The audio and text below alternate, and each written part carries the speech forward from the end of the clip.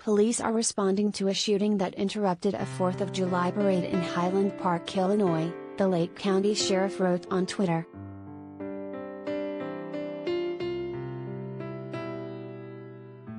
People fled the parade route in panic as gunshots were heard, abandoning chairs and coolers.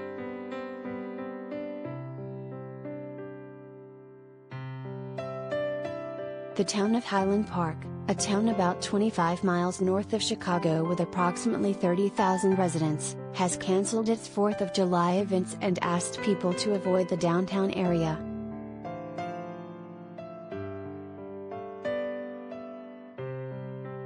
Mayor Nancy Rotering said in a tweet that the 4th Fest celebration, scheduled to start at noon, has been cancelled.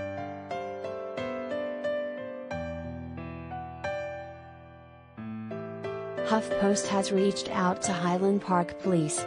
There is no information yet on injuries or fatalities.